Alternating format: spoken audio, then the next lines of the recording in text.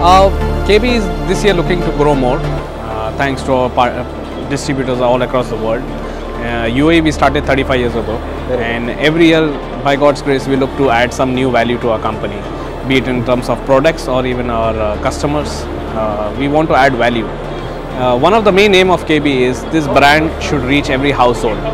It's a brand which is uh, making the right quality products and making it affordable for all over the world.